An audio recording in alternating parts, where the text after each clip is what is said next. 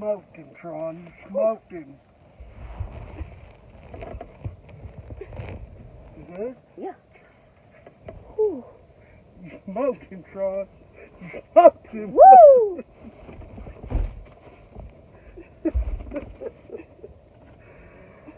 oh, That black thing was in my way, so I couldn't get a shot off.